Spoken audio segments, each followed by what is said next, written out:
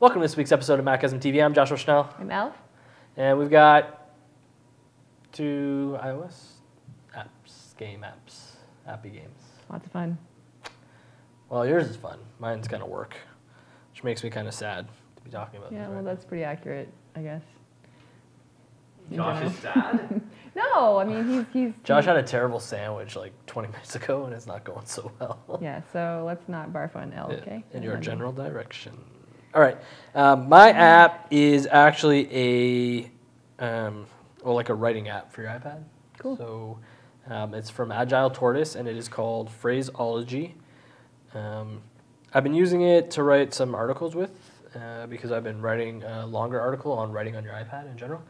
Um, this one I actually really like, and the reason I want to talk about it is it's got something really cool built in that I haven't noticed in any other writing application. Uh, so when you're writing, right, you hit enter and you go to a new paragraph and it creates like a break. You can actually arrange your paragraphs. So if you're in the editing stage and you want to move this paragraph up or that one down, you can move an entire paragraph by sliding up and down Cool. the uh, the app instead of highlighting the text and copying it and then Mhm. going and pasting it. Neat. So it, uh, it gives you the word count, the character count. Um, you can share your writing with, you know, typical things, Twitter, Mhm. email. Uh, you can export. Um, the other really cool thing this does is it gives you statistics on your writing, which a lot of apps don't do.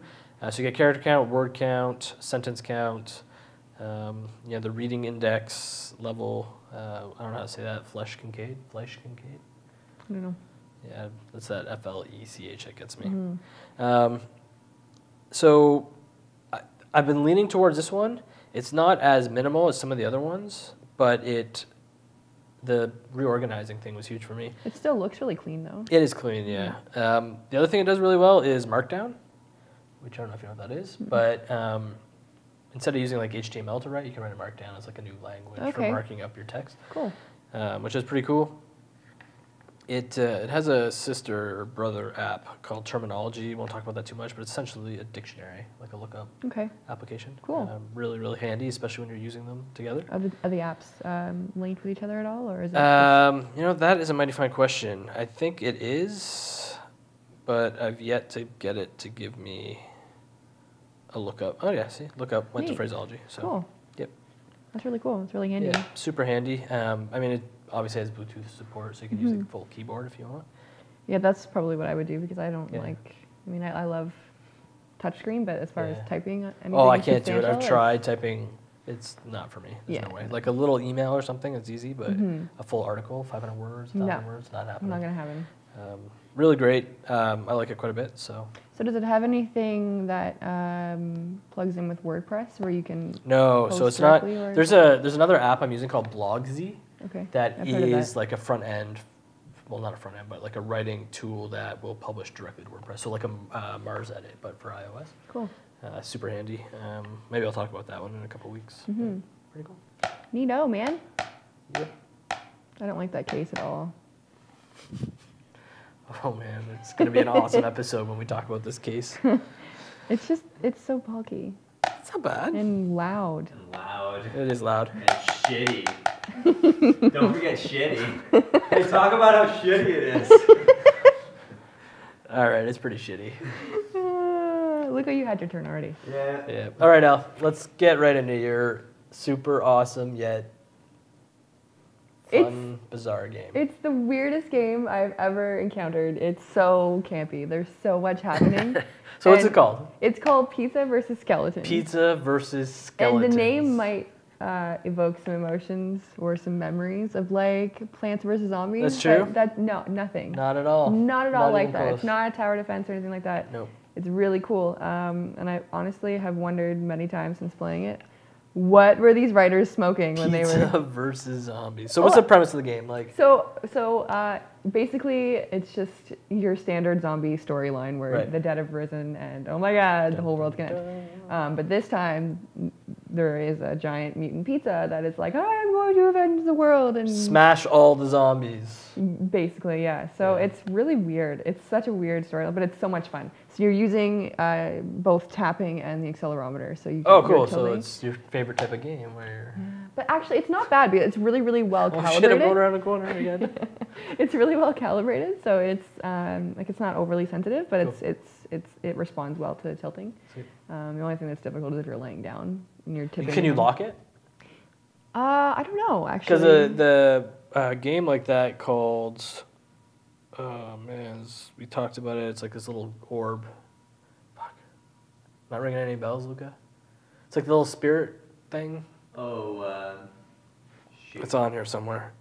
I had the same problem. So like, if I was in a different thing, but you can actually calibrate it so that wherever your zero point is, it'll keep that. So if you're laying down, Oh, okay, cool. then to go down, really you just tilt it a little further. that's a really good idea. Yeah, so like figures out your um, that's something yeah. I'm gonna look and see if there's anything. because I found it really handy. Because I'm like you, I play a lot of games like on the couch crashing or, Yeah, or in yeah. bed or whatever. I'm rarely sitting up perfectly straight. You know what I mean? Like, I don't, I, I don't have Perfect posture, I don't like- do that. No. I was not. Yeah. You know, I was not born in 1940. I don't, I, I don't have. I don't have that kind What do you got against people born in 1940?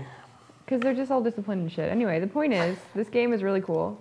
Um, so in the game, you're collecting Yeah. coins. Right. Um, so it, not like it, it converts into like in-game money. Okay. Um, and my favorite part of the game is that is the uh, the way you can customize your pizza.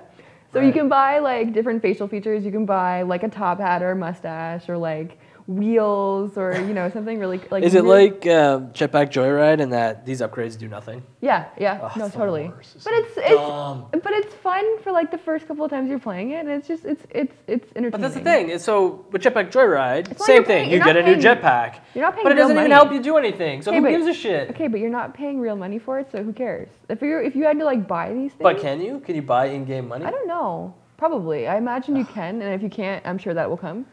But Why can't uh, they just give these things like superpowers? Like, okay, you. Because it's a fucking mutant pizza. What else do you want from I don't it? know, like super slow mo, or you get something and it does something. Whatever happened to that in video games? I got a new sword. It shoots lightning bolts now. Because that's lame. It's just not a cool looking new sword. That's really lame. No, it's awesome. Am, I, am I right? No, Am I wrong? no. So I the game is set up. It's got. You just cut me off. Keep it on rolling.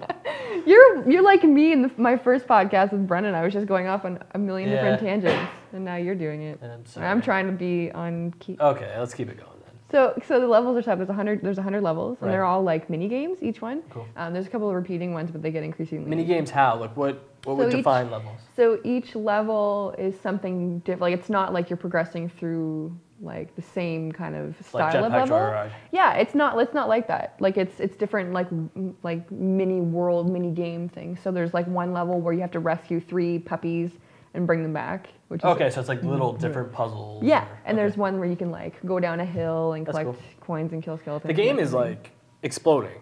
Like Yeah. it's top on the app store. It's like I I don't have anything. I really. I don't have anything bad to say about it. Really, It looks I mean, amazing, yeah. It looks really good. Um, I haven't tried it yet. So. The only thing is that it's a really big game. It's Oh, I like see. size wise, it's really big, so it takes a That while to gets me too. download, which is kind of annoying. But whatever, it happens once, and then you have the game forever. And it's Yeah. it's uh, there's been an update since it came out. I think one. Uh, I'm not sure what the update addressed, but Okay. uh, but yeah, no, I have no complaints at all about And it. it was what? It was it's two. two nine nine. Yeah. Yeah, it's two nine nine, which is a little more than what I normally. Do you see yourself playing it from beginning to end? Oh, Like, totally, yeah. definitely. Yeah, I've. I've been playing it like Worth nonstop. three bucks. Totally, absolutely worth three bucks. Worth a super small mocha frappa skinny latte. You're such a hipster. it's Worth it. Uh, but yeah, no, totally worth it. You should go check it out. Sweet. Yeah. Sweet, sweet. So there you have it. Plants for no. Pizza's smashing zombies. you are Pizza blasphemous this week. Holy man. It's called Pizza versus Skeletons. Versus skeletons, not zombies, but they're zombie skeletons. Nope, they're just skeletons. They're mostly skeletons. And how do they raise from the dead? Because it's fucking. That's just the rules of undead. That you, you don't. So then they're zombies. What? Okay, what part of like a zombie Am I wrong? is Am I wrong? more likely to happen? Let's than- see Raised from the goes. Raised from the dead is the definition of a zombie, is it not? Right, but maybe they were dead for longer than a couple of days and they are now a skeleton. Their flesh has been eaten Not away. zombies. They're zombies. They're zombie Whatever. skeletons. Zombies are overdone. Let's do skeletons now. Zombie skeletons. No. No, because that's just redundant. Skeletons can't raise from the dead on their own. Well, clearly they can. And if you played the game, you would know that. Zombies. Anyway, are we done? We're done. So her game is Pizza versus skeletons. Zero skeletons. Put it in the bottom, Luca. Yeah, all Luca. Luca could put right here too. Phraseology and Put it right here, terminology. actually. Right here. Can you do like a vertical? Right here. Just this general direction. Picture a It's gonna be picture. spinning in the. Just gonna be moving around And the put screen. your put your put your light, your LED light in there. Give it a lens Perfect. flare. It'll be awesome. Sweet. So you get us all over the web. You get us at twitter.com slash macgasm, youtube.com slash macgasm, blip.tv slash macgasm. You get us macgasm.net. We can get you at. Elbets on Twitter. Yeah, and I'm Joshua Schnell on Twitter. Uh, that's it for this week's episode. Make sure you check us out. Click the damn like button.